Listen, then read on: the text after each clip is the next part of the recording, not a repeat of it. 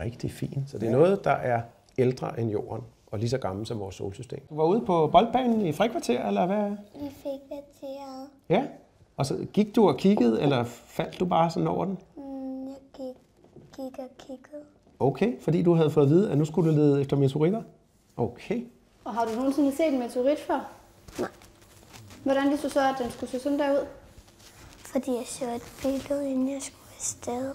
En af de måder, man kan finde ud af, om det er en meteorit, det er ved at lige prøve med en magnet. Sådan en har Melina faktisk. Fordi Ja, skal vi lige prøve? Skal du prøve at se, om du kan få den til at sidde Det fast? ser bare vildt cool ud. Ja, Ja, Sådan. det der. der er beviset. Ja, ingen tvivl mulig her. Sådan. Øhm, jeg viser den til mine venner, og når jeg kom på SFO, så viser jeg den til voksne. Og hvad sagde en voksen så? Og at jeg skal smide den udenfor igen. Er det rigtigt? Hvorfor gjorde du så ikke det?